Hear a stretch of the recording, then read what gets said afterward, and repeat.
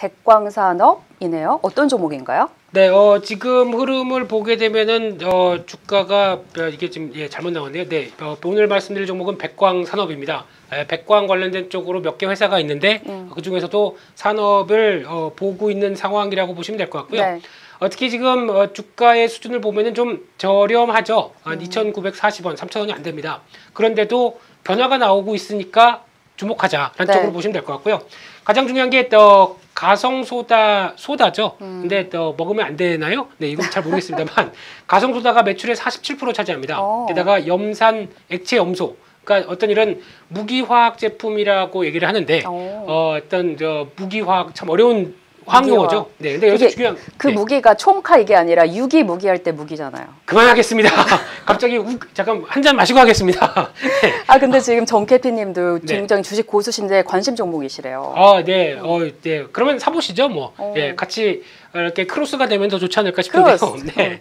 어, 특히 가성, 그러니까 제가 앞서서 잠깐 어, 정유주 말씀드릴 때도 가격, 그러니까 어떤 제품을 팔 때 보면은 그 제품을 파는 판매 가격이나 네. 원가에 대해서 상당히 관심이 많은 사람입니다. 그러다 보니까 원가가 떨어지게 되면은 당연히 어, 수익성이 늘어나고요. 네. 아니면 판매 가격 자체가 올라가게 되면 그에 따라서 수익성도 높아지고 하는 이런 여러 가지 구조를 많이 따지는 게 좋은 투자 습관이라고 생각하는데 네. 그 중에 하나 보게 되면 가성소다가 국내 시장의 전체 10%를 차지하는데 이쪽에서 중국의 환경 오염 문제 때문에 어, 가성 소다를 많이 생산을 줄이고 있습니다. 네. 그러다 보니까 당연히 가격이 올라가겠죠. 그에 따른 수혜를 톡톡히 본다는 쪽으로 보셨으면 좋겠고요.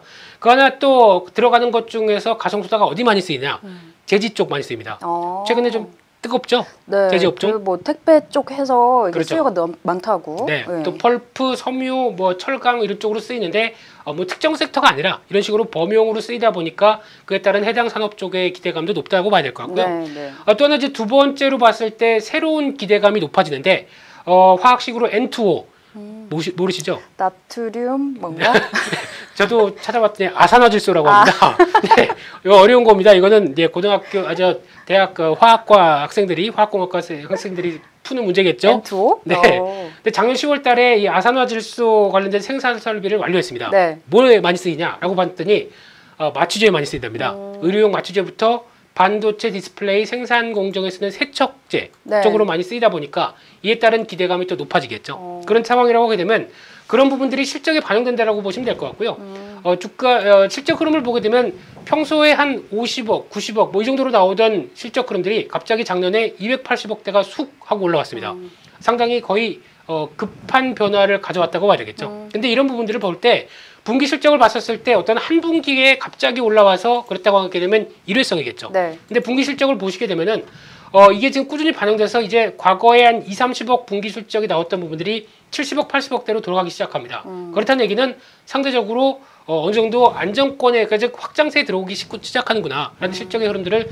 충분히 느껴야 될 것 같고요. 그렇게 되면 적어도 올해 어, 좀 1, 4분기 부진해서 50억대 분기 실적이 나온다고 하더라도 추가적으로 어, 하반기 확장세 나가기 시작하게 되면 실적에 대한 기대감이 상당히 높다라고 보시는 게 맞을 것 같고요. 네.